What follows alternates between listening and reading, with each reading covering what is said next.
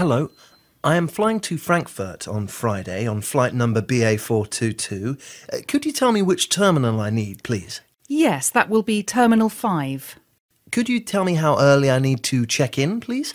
Yes, you need to check in two hours before departure time. However, if you check in online, print your own boarding pass, and you don't have any baggage for the hold, you just need to make sure you're at the departure gate on time. Thank you.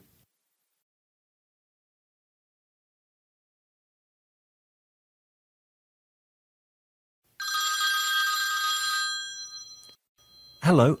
I am flying to Frankfurt on Friday on flight number BA422.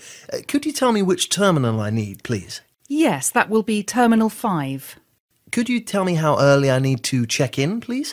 Yes, you need to check in two hours before departure time.